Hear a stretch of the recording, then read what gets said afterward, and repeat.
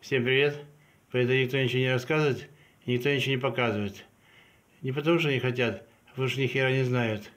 Если давление на манометре воды упало до 1,5 бар и ниже, то значит у вас где-то в котле или в системе отопленного помещения есть утечка.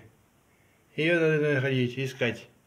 Для этого надо перекрыть краны под котлом подача холодной воды, подача отопления, обратка, подача горячей воды. Все эти четыре крана надо перекрывать. Давление у нас 1,5. Давайте его поставим ровно на 2 бара, чтобы было видно, что 2 бара у нас в котле. Давайте подпитываем.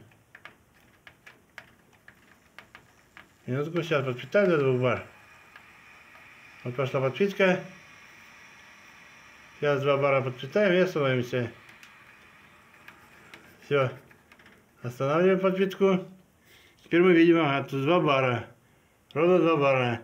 Если вода упадет меньше двух бар, то это будет сразу заметно, потому что стрелка у нас стоит ровненькая на двоечке. Все. Теперь нам надо подождать какое-то время. Подождать, ну, не знаю, ну, самое больше, я думаю, 15 минут можно подождать зимой. За это время вода не замерзнет, ничего не будет страшного. Но если будет утечка, то стрелка упадет чуть ниже 2 бар. И мы будем знать, что где-то есть утечка. Но раз у нас краны закрыты, то утечку надо будет искать, когда упадет стрелка чуть ниже 2 бар. Где-то в самом котле. Потому что вода из котла не выходит у нас, а датчик манометра у нас находится в котле. Поэтому пока давление воды, пока в котле когда упадет ниже двух бар, то все, начинаем искать утечку. Если утечку не нашли, или уже нашли и устранили, то тогда мы открываем потихонечку краны под котлом.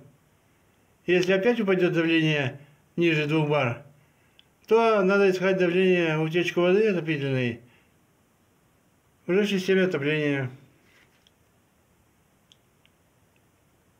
Арифметика простая.